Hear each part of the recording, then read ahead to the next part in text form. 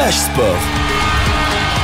صباح النور. مرحبا بكم في أول مواعيدنا الرياضية البداية بكرة اليد. بطولة إفريقيا للأمم مصاغر مواليد 2006 2007 بالمهديه وقصور السيف والمؤهله لبطولة العالم بمصر في يوت 2025 نقول مبروك للمنتخب التونسي اللي ضمن رسميا التأهل لبطولة العالم بعد الفوز البارح في الربع النهائي على بوراندي 48 27 مع اختيار جهاد عليات كأفضل لاعب في المباراة.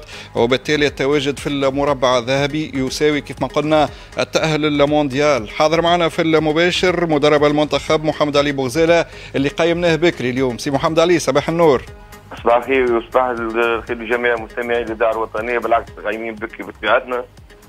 كما قلنا البارح الهدف الأولاني الحمد لله تحقق الوصول لبطوله العالم مصر 2025 لكن تو ندخل في مرحلة ثانية وهي بالنسبة لنا هي أهم والأهم معناتها يلزمنا نكونوا تو في النهائي إن شاء الله. اليوم مقابلة مع المنتخب الغيني لازمنا نكونوا في نهارنا واللاعبين كل عاقدين العزم باش اليوم يدخلوا في ال compétition لأنه بالحق معناتها ال phase الاولى كانت phase فنيا متوسطة لكن تو اليوم ندخلوا مع مع فرق أقوى فنيا المنتخب الغيني ما لازمش نستنوا به فريق وضع لاعب باهي donc اليوم إن شاء الله نكونوا في يومنا إن شاء الله نواجهوا لاعبنا وبالحق اليوم محتاجين اللاعبين خاصة اللاعبين صغار محتاجين جماهير المهديه ونعرفوا جماهير المهدية جماهير كرة يد عشاق كرة اليد إن شاء الله يكونوا اليوم معنا وباركين اليوم إن شاء الله نوعدوهم باش نقدموا أفضل ما عندنا وإن شاء الله الخطوة هذه نعديوها باش نكونوا إن شاء الله بعد غدوة نهار الخميس في الليل. إن شاء الله الساعة السادسة نكونوا في النهائي إن شاء الله. وانت حكيت على المباراة اليوم ضد المنتخب الغيني. نرجع شوي لمباراة بوراندي البارح. بحسب ال score نشوفوا للمنتخب ما لقاش صعوبات كبيرة. 48 27 وهذا كله تحضير للي جاي في الدور النصف النهائي والنهائي إن شاء الله. والله كما قلت لك المرحلة الأولى الكل الحقيقة معناتها.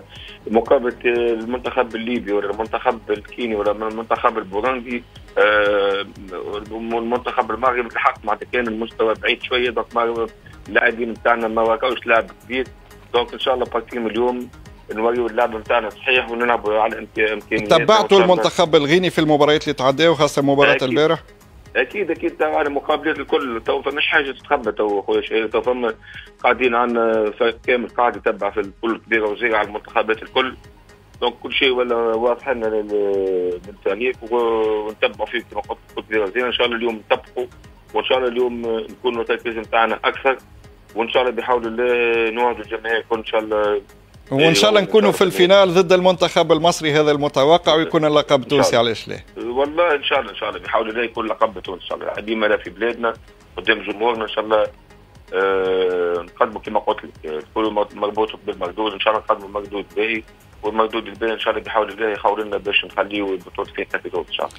يعطيك الصحة سي محمد علي بوغزال إن شاء الله بالتوفيق وإن شاء الله تكون ضيفنا وأنت متوج باللقب هنا في الإذاعة الوطنية. مشكور جدا. نذكر في بقية مباريات الربع نهائي البارح المنتخب المغربي تأهل ضد الجزائر بعد الفوز 25 20 منتخب غينيا اللي باش نلعبوا ضده اليوم كان ربح المنتخب الليبي 34 22 والمنتخب المصري يتاهل بعد الفوز على كينيا 55 14 اليوم في النصف النهائي اذا ماضي ساعتين مصر مع المغرب والستة تونس أمام غينيا والدعوة لجمهور قاعة المهدية باش يكون حاضر ويشجع المنتخب التونسي من أجل التواجد في ال finale.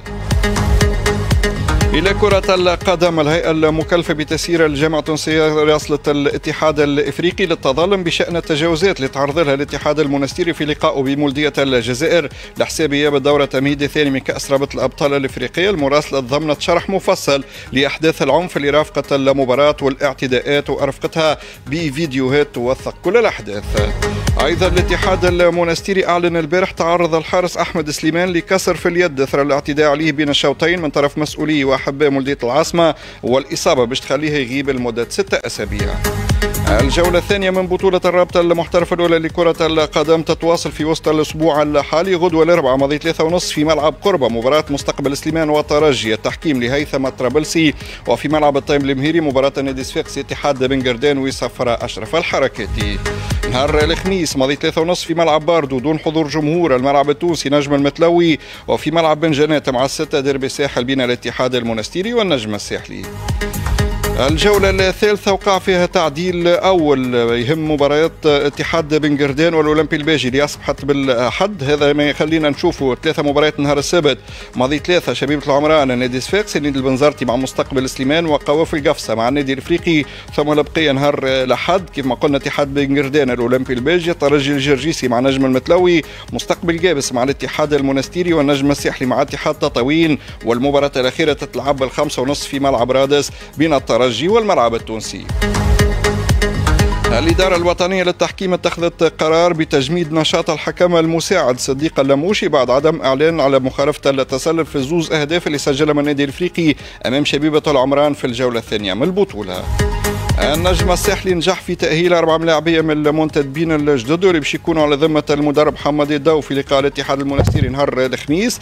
الرباعي متكون من كل من فادي بن شوق فراس شوات وليد القروي ونسيم هنيد. قبلها أيضا كان تم تأهيل محمد كونتي شريف كامارا سيدريك قبو ونزار السميشي وسيم الشيحي ويبقى المدافع الأيسر حسام دقدوق في انتظار وصول البطاقة الدولية لتأهيله رسميا. علي غرام المدافع التونسي لنادي شختار الأوكراني شارك البارح لأول مرة في مباراة رسمية مع فريقه ودخل في الدقيقه 79 في مواجهة نادي أوبولون في إطار الجولة السابعة. شختار كان انتصر 4-0 ويحتل حاليا المركز الرابع ب 12 نقطة. المهاجم السابق للترجي محمد علي بن حمودة اتفق رسميا مع نادي غزل المحل المصري لإمضاء عقد بثلاث سنوات مقابل 150 ألف دينار يتحصل عليها الترجي والإمضاء في الساعات القادمة. نادي خليج سرت الليبي ينتدب ثنائي تونسي محرز بن راجح وبشير الرجيبي في صفقة انتقال حر.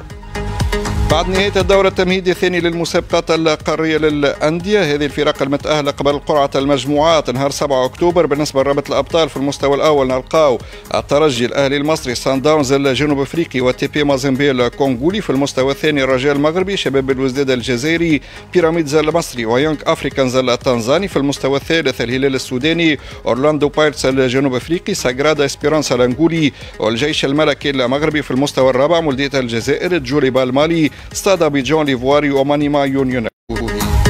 بالنسبة لكأس الكونفدرالية الإفريقية المستوى الأول فيه الزمالك المصري نهضة بركان المغربي سيمبا التنزاني واتحاد العاصمة الجزائري المستوى الثاني فيه النادي الصفاقسي أسيك ميموزا الإيفواري الملعب المالي. والمصري البورسعيدي في المستوى الثالث والرابع نلقاو كل من جاراف السينيغالي إنييمبا النيجيري لواندا سولا الأنغولي النادي القسنطيني الجزائري أورابا يونايتد البوتسواني أونز برافوس الأنغولي ستيلينبوش الجنوب أفريقي وبلاك بولز الموزمبيقي. كرة السلة. البارح كان اختتام الجولة الافتتاحية لبطولة ال Pro A واللي عرفت فوز النادي الإفريقي على نجم حلق الواد 107 مقابل 44 قبل أن نذكر كان شبيبة القيروان ربحت نادي كرة السلة بالمهدية 103 مقابل 56 اتحاد الأنصار ربح النجم الرادسي 101 61 شبيبة المنازه كانت خسرت أمام الاتحاد المنستيري 89 61 والنجم الساحلي ربح الدالية الرياضية بقرمبالية 79 54 الرابطة الوطنية لكرة اليد أعلنت تعيين المقابلات المؤجلة من الجولة الثالثة لبطولة النخبة غدوة الأربعاء مع الأربعة العشية. نسر طبلبة مع بعث بني خيار. جمعية الحمامات مع مكارم المهدية ونادي كرة اليد بجمال مع النجم الساحلي في التصنيف العالمي للعبات التنس الصادر البارح لعبتنا التونسية أنس جابر أصبحت تحتل المركز 21 عالميا وتتقدم بمرتبة وحيدة. الصدارة تبقى للبولونية إيجا شويتيك المركز الثاني للبيلاروسية أرينا سابالينكا والثالثة الأمريكية جيسيكا بيغولا. كأس خادم الحرمين الشريفين. البارح في الدورة 32 الأهلي ينسحب أمام الجندل الناشط في الدرجة الثانية بعد الهزيمة 2-1 هدف الفوز كان بأقدام التونسي ياسين العمري من ضربة جزاء لفريق الجندل الاتفاق كان ربح العدالة 2-0 الطائي يربح الخليج 5-2 الحازم يخسر أمام النصر 2-1 والفيحاء يربح الباطن 4-0 اليوم الأربعة وسبعة البكيرية ضد الهلال أيضا الخمسة غير ربع الجبلين مع الفتح السبعة الاتحاد مع العين والخلود مع الشباب. اوروبيا البارح من الجولة السادسة في الليغا الإسبانية ريال بيتيس كان خسر أمام ريال مايوركا 2-1 اليوم الستة سيفيل مع فالادوليد فالونس أمام أوساسونا والثمانية مباريات ريال مدريد أمام ديبورتيفو ألافيس هكا نكون وصلنا لختام أخبار الرياضة أجمل تحيات شهير في نهاركم زين. Flash